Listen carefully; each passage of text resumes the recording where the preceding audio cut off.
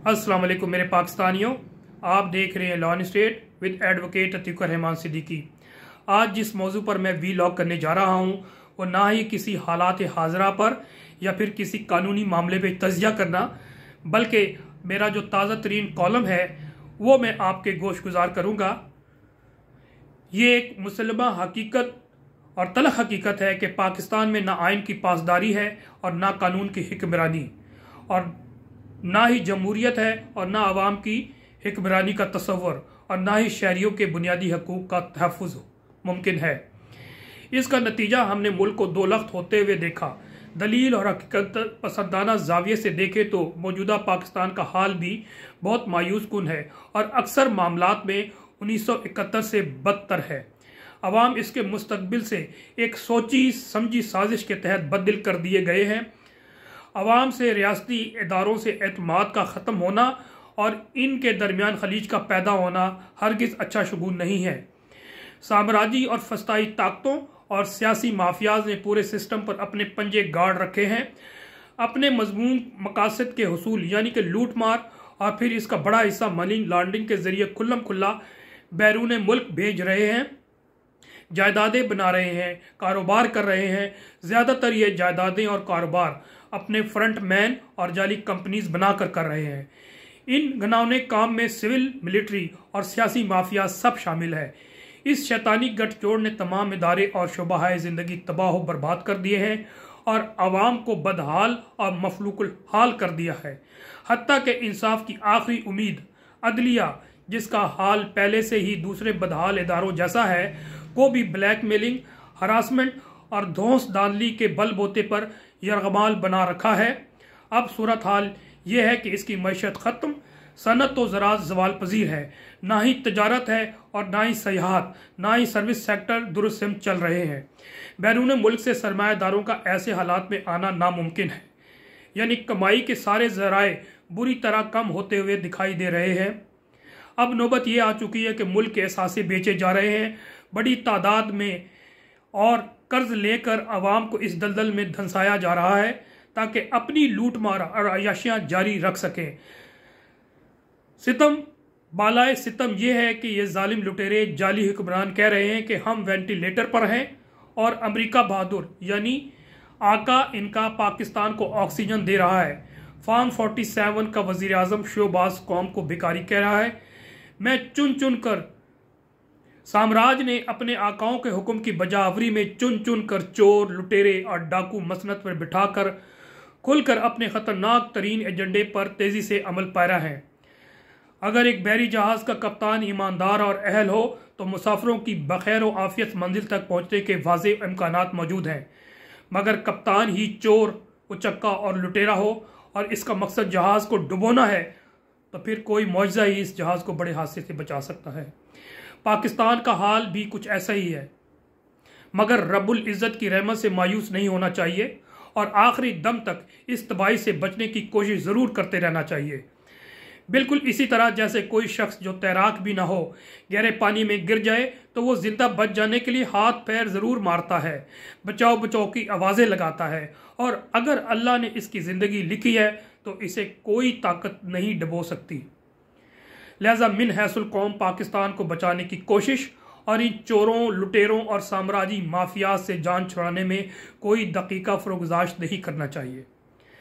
मैं आज से हालात हाजरा, सियासी और कानूनी तजिए के साथ साथ मुल्क में जिन असलाहत की ज़रूरत है, इस पर भी अपनी सही ना तमाम शुरू कर रहा हूँ। बिलाशुबा पाकिस्तान नीड रिफॉर्मेशंस और इन असलाहत में आइनी और कानूनी असलाहत के साथ साथ माशी असलाहत सनती असलाहत ज़रूरी असलाहत तजारती असलाहत तालीमी असलाहत मजहबी असलाहत मदरसा जाती असलाहत अदालती असलाहत पुलिस असलाहत फ़ौज असलाहत दीवानी और फौजदारी कवानीन में असलाहत ब्यूरोक्रेसी का खात्मा, प्रोटोकॉल कल्चर का खात्मा गैर ज़रूरी अखराज का हर सतह पर खात्मा, एक मुल्क, एक निज़ाम और एक दस्तूर वगैरह शामिल है। अब सवाल यहाँ पर एक पैदा होता है कि जिसे हम सियासी जमातें कहते हैं दरअसल वो तो सियासी ख़ानदानी माफियाज के सिवा कुछ नहीं। ये सब असलाहत कौन करेगा? और मुल्क में आइन की बालादस्ती, कानून की हमरानी मज़बूत जमहूरियत शहरीों के बुनियादी हकूक और आवाम की हमरानी और जदीद तकाज़ों के मुताबिक फलाही रियासत कायम कौन करेगा? मेरी राय में इमरान खान कौम की उम्मीद है और इनकी क्यादत में पाकिस्तान तहरीक इंसाफ, जमात इस्लामी और पाकिस्तान अवामी तहरीक कारकुनान के अलावा दीगर जमहूरी ताकतें जिनका माजी साफ़ करप्शन और साम्राज्यत के खिलाफ लड़ने का हौसला रखते हैं, को जमहूरी हुकूमत कायम करने के लिए मुश्तर काविश की ज़रूरत है। क्योंकि बाकी सियासी जमातें दरअसल सियासी ख़ानदानी माफियाज हैं। मैं किसी भी खूनी इनकलाब पर यकीन नहीं रखता। अगर इनकलाब लाना है तो जमहूरी, पुरअमन और इनकलाब जो अदम तशद पर मबनी हो, वही लाया जा सकता है। जो कि मुश्किल, यानी कि हरकुलियन टास्क तो है मगर मुमकिनात में ज़रूर है। जमहूरी इनकलाब से कबल मुश्तर लामल से कौम को ब्लैक एंड वाइट विजन और वे फॉरवर्ड देना होगा। सिर्फ़ तकारीर और बोल पचन से काम नहीं चलेगा, जिनमें चंद बुनियादी असूल में मुल्क में आइन के बालादस्ती कायम की जाएगी खा नया आइन ही मुतारफ़ करवाया जाए। कानून की हिक्मरानी लाजिम और आम व ख़ास के लिए एक कानून पर अमल लाजिम होगा। अवाम की इज़्ज़त व तोक़ीर तमाम सरकारी अमाल पर लाजमी होगा। तमाम इदारे दरअसल अवाम की मलकियत हैं और अवाम ही रियासत है। बाकी सब जो इदारे हैं, वो अवाम के मुलाजम के तौर पर काम कर रहे हैं। सबसे ज़्यादा कुर्बानियाँ और शहादतें अवाम ने दी हैं और वो बेलौसो कर दी हैं। तमाम मुलाजमीन आयन व कानून के मुताबिक काम करेंगे।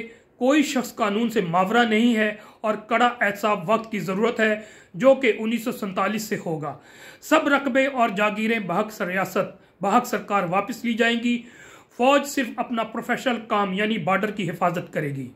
दीगर सारे काम, यानी हर तरह का कारोबार रियासत तो कारोबार सियासत, इनसे वापस ले ली जाएगी। और ये कारोबार नए सरमाकारों के साथ पब्लिक प्राइवेट वेंचर के तहत चलाए जाएँगे। ओवरसीज पाकिस्तान को तरजीह दी जाएगी।